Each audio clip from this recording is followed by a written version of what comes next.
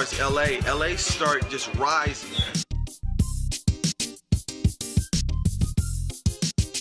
I mean, I'm proud to say I'm from the West Coast. We, we, we're proud of our West Coast roots. You know, we're proud of popping and locking. Los Angeles was a real hotbed for, for new dance and new hot things going on.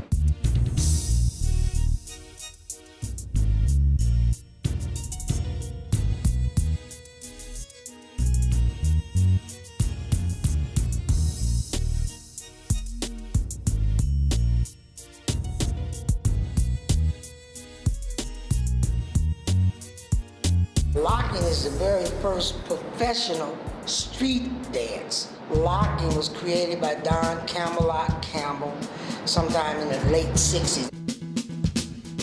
He was trying to learn how to do the funky chicken. He was like a real wallflower, right? He couldn't do it. And he stumbled onto this style of locking. I didn't meet Don until 69. I snuck away from an all-night prayer meeting.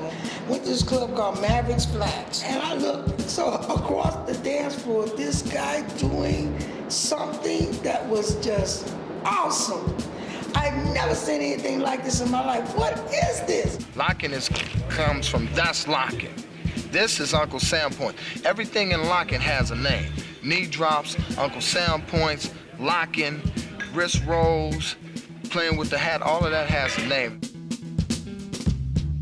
Locking was a lifestyle. You wore certain type of clothes. You walked a certain way. You didn't look in locking. You look or you didn't point in locking. You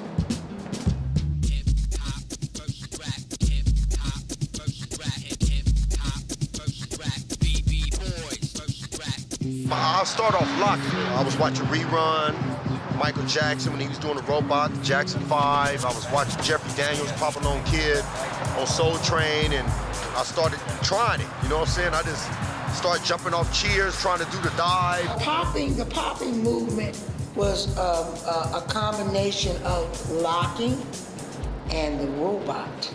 Breaking came from the east, but popping came from South Central, to west. Talking to Pete, who was the first one to start hitting or popping, the actual pop part of it was Fresno, California. Popping is really, really minute. It's like this. Bam. See, that's that's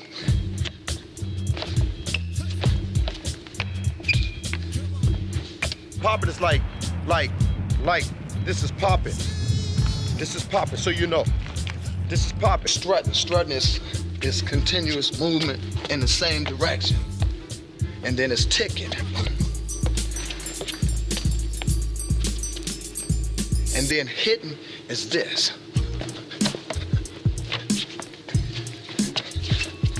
When I hit, it reminds me of like a gangster perspective from where I come from. So when I'm hitting, I'm hitting like I'm getting ready to fire on you. You know what I'm saying? My hits come from the hood, you know? It didn't come from me, it came from the hood because I had that that gangster vibe, you know? Real niggas wanted to see real niggas hit.